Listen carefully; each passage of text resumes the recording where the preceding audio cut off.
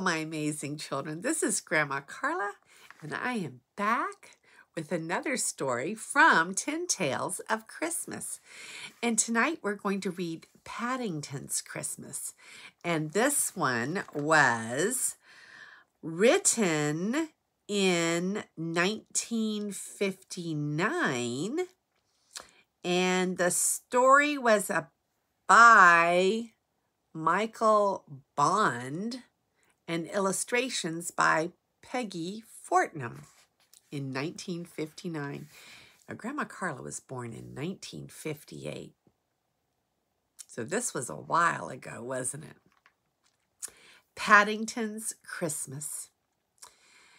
Paddington found that Christmas took a long time to come. Each morning, when he hurried downstairs, he crossed the date off the calendar.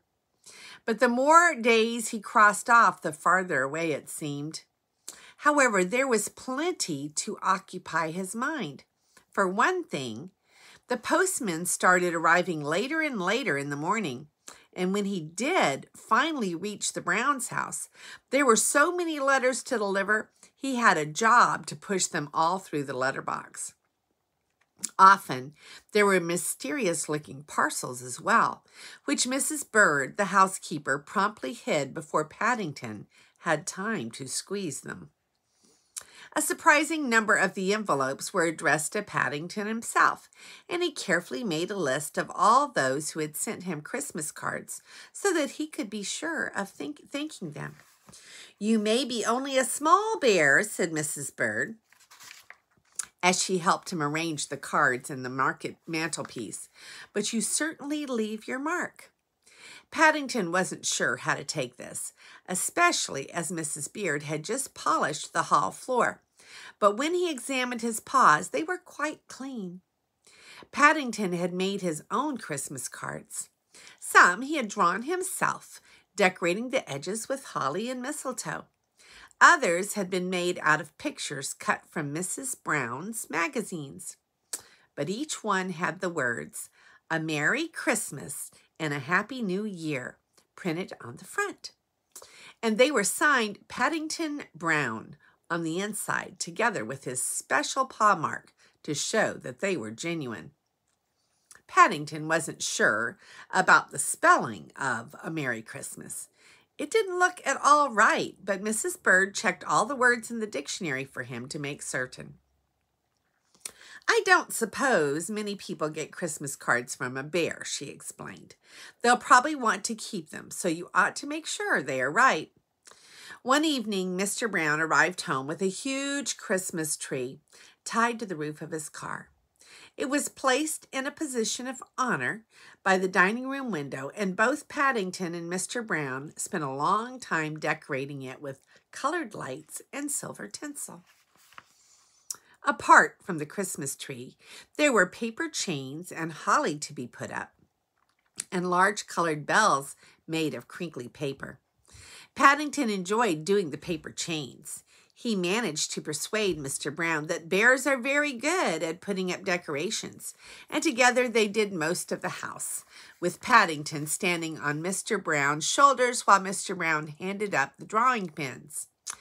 It came to an unhappy end one evening when Paddington accidentally put his paw on the drawing pin which he'd left on the top of Mr. Brown's head when Mrs. Bird rushed into the dining room to see what all the fuss about and to inquire why all the lights had suddenly gone out, she found Paddington hanging by his paws from the chandelier and Mr. Brown dancing around the room, rubbing his head.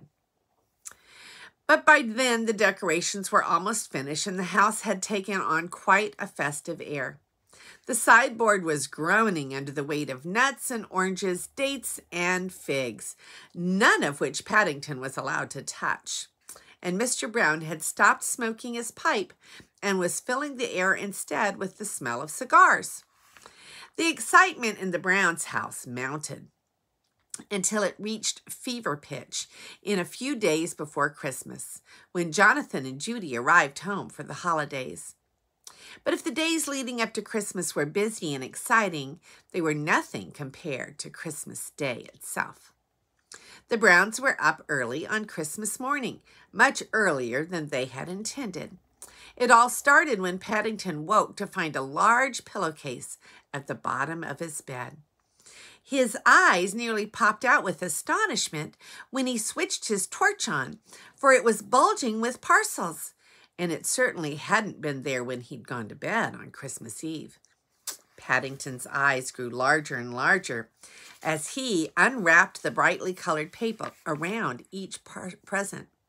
A few days before, on Mrs. Bird's instructions, he had made a list of all the things he hoped to have given him and had hidden it up one of the chimneys. It was a strange thing, but everything on that list seemed to be in the pillowcase.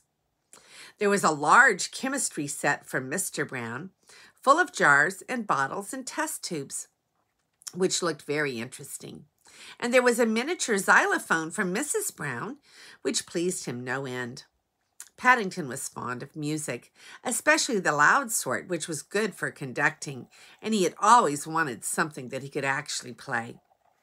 Mrs. Bird's parcel was even more exciting, for it contained a checkered cap that she that he'd especially asked for and had underlined on his list. Paddington stood on the end of his bed, admiring the effect in the mirror for quite a while. Jonathan and Judy had given each had each given him a travel book. Paddington was very interested in geography, being a much traveled bear, and he was pleased to see that there were plenty of maps and colored pictures inside. The noise from Paddington's room was soon sufficient to waken both Jonathan and Judy, and in no time at all the whole house was in an uproar, with wrapping paper and bits of string everywhere. I'm as patriotic as the next man, grumbled Mr. Brown. But I draw the line when bears start playing the national anthem at six o'clock in the morning, especially on a xylophone. As always, it was left to Mrs. Bird to restore order. No more presents until after lunch, she said firmly. She had just tripped over Paddington on the upstairs landing, where he was investigating his new chemical outfit and something nasty had gone in one of her slippers. It's all right, Mrs. Bird, said Paddington, consulting his instruction book. It is only some iron filings. I don't think they're dangerous. Dangerous or not, said Mrs. Bird. I've a big dinner to cook, not to mention your birthday cake to finish decorating. Being a bear, Paddington had two birthdays each year, one in the summer and one at Christmas and the Browns were holding a party in his honor to which Mr. Gruber had been invited. After they'd had breakfast and been to church, the morning passed quickly, and Paddington spent most of his time trying to decide what to do next.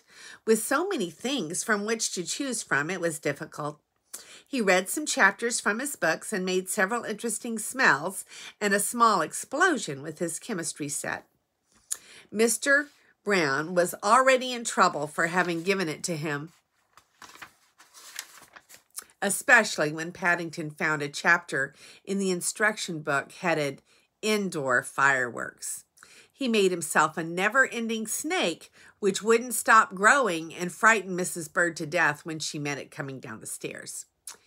If you don't watch out, she confided to Mrs. Brown, we shan't last over Christmas. We shall ever be blown to smithereens or poisoned. He was testing my gravy with some litmus paper just now. Mrs. Brown smiled.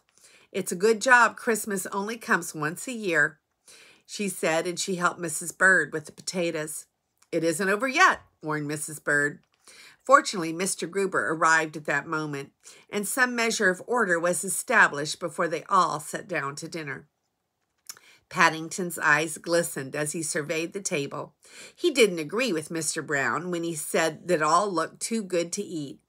All the same, even Paddington got noticeably slower towards the end when Mrs. Bird brought in the Christmas pudding. Well, said Mr. Gruber, a few minutes later as he sat back and surveyed his empty plate.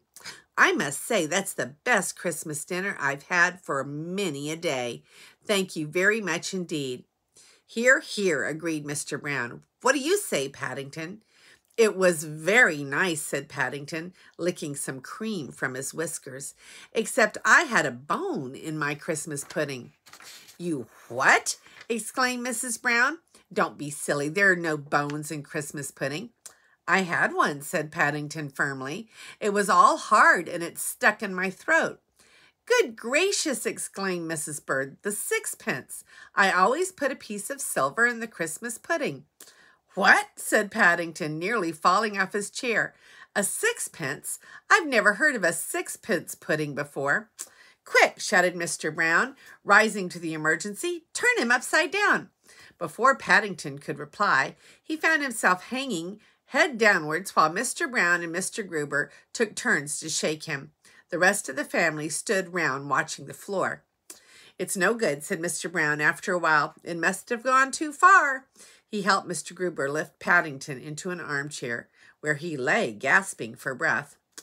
I've got a magnet upstairs, said Jonathan. We could try lowering it down his throat on a piece of string. I don't think so, dear, said Mrs. Brown in a worried tone of voice.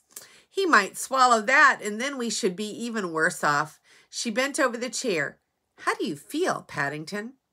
Sick, said Paddington in an aggrieved tone of voice.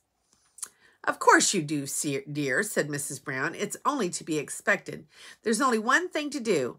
We shall have to send for the doctor. Thank goodness I scrubbed it first, said Mrs. Bird. It might have been covered with germs.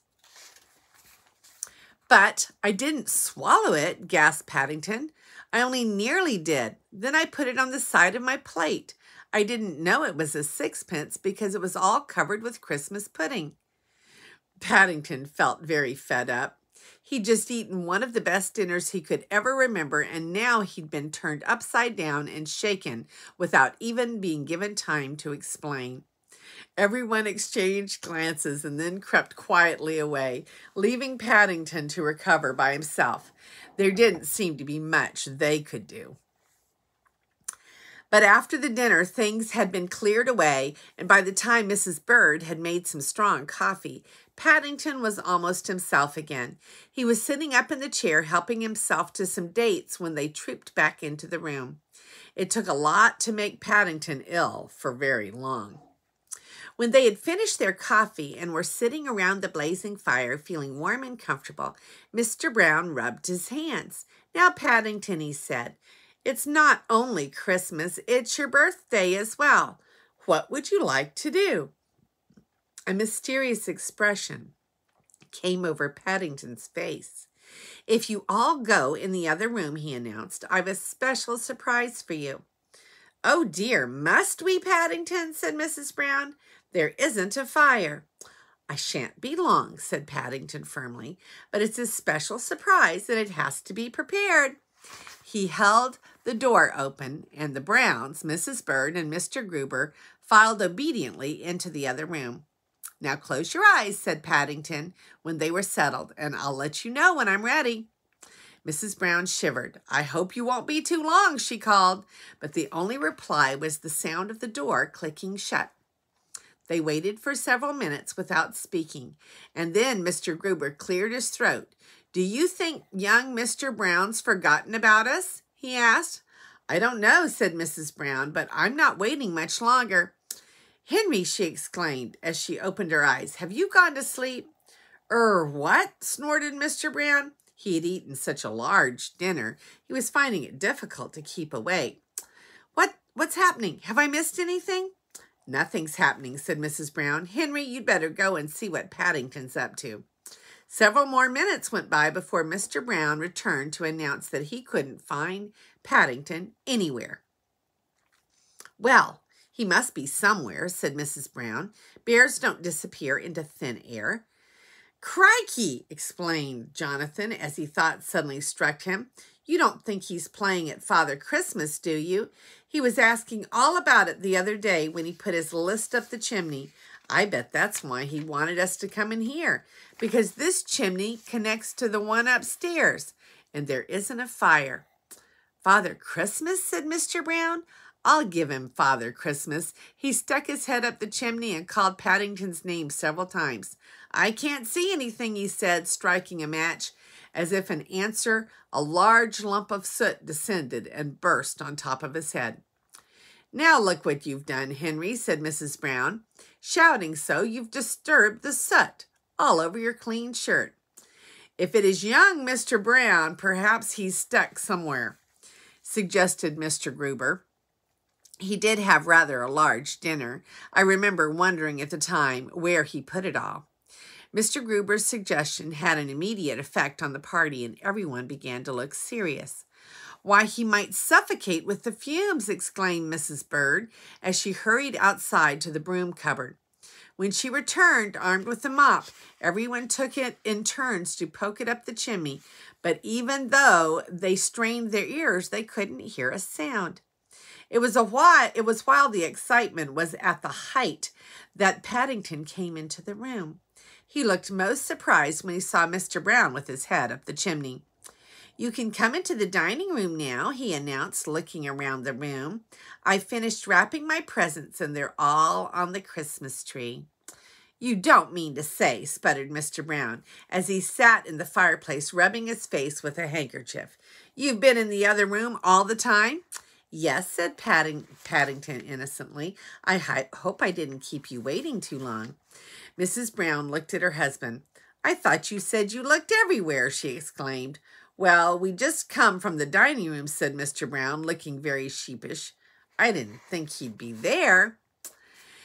It only goes to show, said Mrs. Bird hastily as she caught sight of the expression on Mr. Brown's face, how easy it is to give a bear a bad name.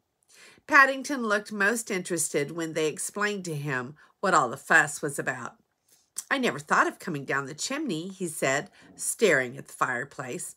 Well, you're not thinking about it now either, replied Mr. Brown sternly. But even Mr. Brown's expression changed as he followed Paddington into the dining room and saw the presents that had been prepared for them.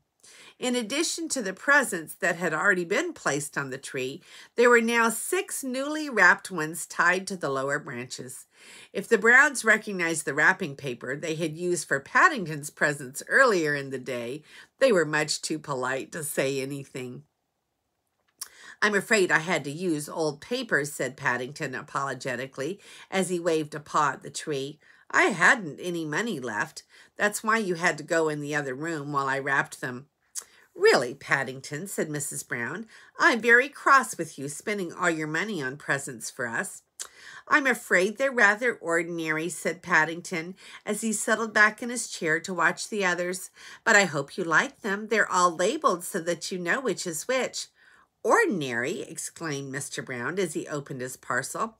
I don't call a pipe rack ordinary, and there's an ounce of my favorite tobacco tied to the back as well. Gosh, a new stamp album, cried Jonathan. Wizzo! And it's got some stamps inside already. They're Peruvian ones from Aunt Lucy's postcards, said Paddington. I've been saving them for you. And I've got a box of paints, exclaimed Judy. Thank you very much, Paddington. It's just what I wanted. We all seem to be lucky, said Mrs. Brown as she unwrapped a parcel containing a bottle of her favorite lavender water. How did you guess? I finished my last bottle only a week ago. I'm sorry about your parcel, Mrs. Bird, said Paddington, looking across the room. I had a bit of a job with the knots. It must be something special, said Mr. Brown. It seems all string and no parcel. That's because it's really clothesline, explained Paddington not string. I rescued it when it, I got stuck in the revolving door at Crumbold and Ferns. That makes two presents in one, said Mrs. Brown, Bird, as she freed the last of the knots and began unwinding yards and yards of paper. How exciting! I can't think what it can be. Why, she exclaimed, I do believe it's a brooch. And it's shaped like a bear. How lovely! Mrs. Bird looked most touched as she handed the present round for everyone to see.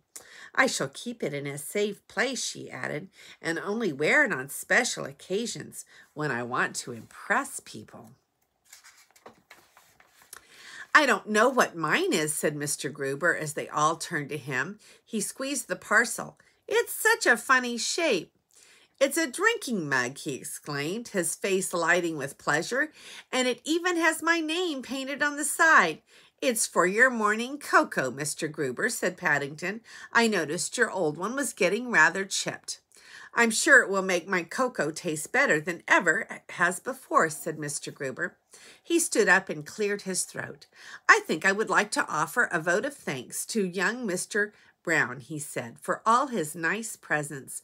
I'm sure he must have given them a great deal of thought. Hear, hear, echoed Mr. Brown as he filled his pipe. Mr. Gruber felt under his chair. And while I think of it, Mr. Brown, I have a small present for you. Everyone stood round and watched while Paddington struggled with his parcel, eager to see what Mr. Gruber had brought him. A gasp of surprise went up as he tore the paper to one side, for it was beautifully bound leather scrapbook with Paddington Brown printed in gold leaf on the cover. Paddington didn't know what to say, but Mr. Gruber waved his thanks to one side. I know how you enjoy writing about your adventures, Mr. Brown, he said, and you have so many, I'm sure your present scrapbook must be almost full. It is, said Paddington earnestly, and I'm sure I shall have lots more. Things happen to me, you know, but I shall only put my best ones in here. When he made his way up to bed later that evening, his mind was in such a whirl, and he was so full of good things he could hardly climb the stairs, let alone think about anything else.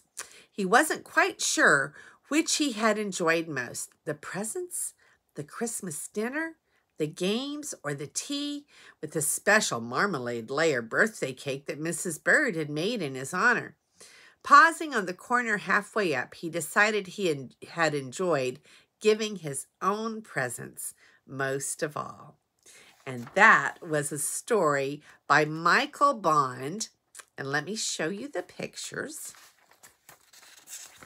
There's Paddington Bear as he's getting ready to get out of bed. He's reading in bed.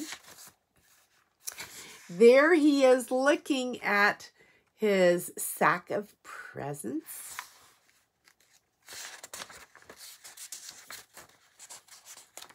Mm. Oh, there's the whole family looking up the chimney because they think Paddington's up there somewhere.